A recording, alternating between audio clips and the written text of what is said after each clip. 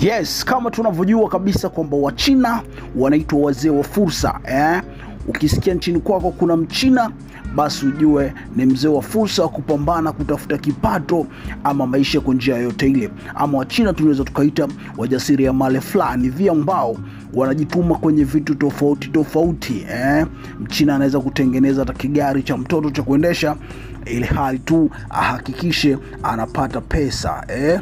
Ah, Kwa jina lingine tunaweza tukaita Wachina ni kama wajasiriamali ambao kwa Wachaga, Wachaga wanaweza kusema Wachina ni wazee wa kutafuta ngawira e, ama Wachaga wa kibongobongo bongo eh, bwana. Sasa taifa la Kenya limetangaza kuwafukuza Wachina wote nchini Kenya Aha, hata kama awe anachoma mahindi au awe anafanya biashara yoyote ile nchini humo Kenya eh, imetangaza kuwatimua. Kabla sijakupa undani wa taarifa hii, tafadhali nikukumbushe kujiunga nasi kwa kusubscribe, wewe ambaye bado hujajiunga nasi, ili usio unapitwa na story, lakini pia na habari zetu pale tu zinapotufikia na sisi tunapoziweka. Subscribe sasa kwa kubonyeza maneno mekundu yaliyopo chini ya video hii yaliyoandikwa subscribe, kisha itakuja alama ya kengele, fanya kuibonyeza pia e, na kwa kufanya hivyo basi habari na stori zetu zote zitakuwa zinakufikia moja kwa moja kwenye simu ama kompyuta yako.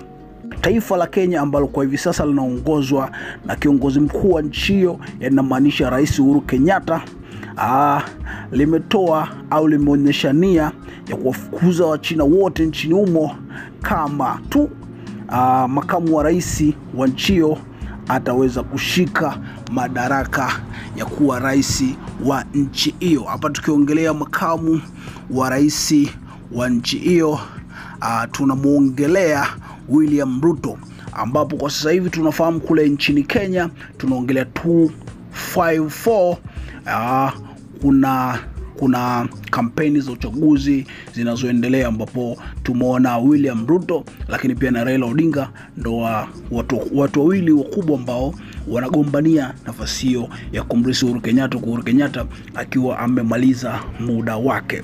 Sasa uh, kwa upande wa William Ruto ambaye ni makamu wa rais wa nchi hiyo bwana ameweza kusema kwamba kama akishinda kiti cha urais nchini Kenya, basi atawatimua China wote ili biashara zao ziweze kufanywa na Wakenya. Mgombea wa urais nchini Kenya William Ruto ameahidi kuwafukuza Wachina wote wanaofanya kazi zinazoweza kufanywa na wazawa iwapo atashinda uchaguzi mkuu unaotarajiwa kufanyika Agosti 9 mwaka huu.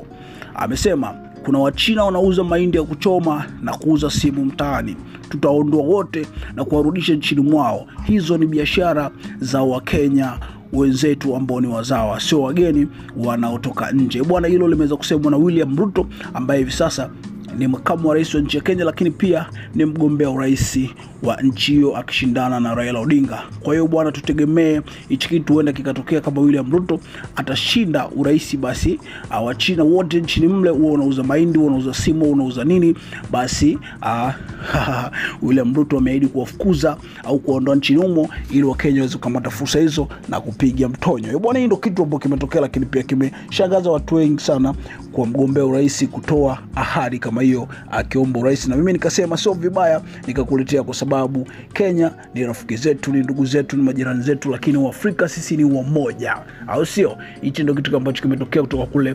254 na mimi nikasema nikurudishie hapa. Mimi naitwa Limo Dansani na ni Limo Media. Hakikisha umesubscribe ili usionapitwa na mastori yetu. Ili kuwa mwanafamilia bora wa Limo Media, usisahau kusubscribe, kucomment, kulike na kushare.